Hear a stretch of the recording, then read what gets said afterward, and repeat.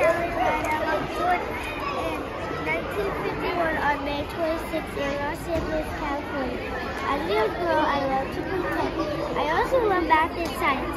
I took a year off to college to play tennis, but then after a year, I went back to college. In 1975, I graduated with a PhD in physics. I saw an advertisement for NASA, and I accepted. They took me. And in 1978, I was selected to be Pennsylvania to go In 1983,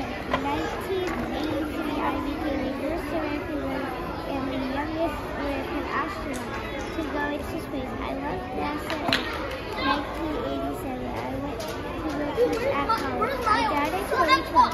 I will always be known as the first American woman astronaut to travel into space. And so I love physics.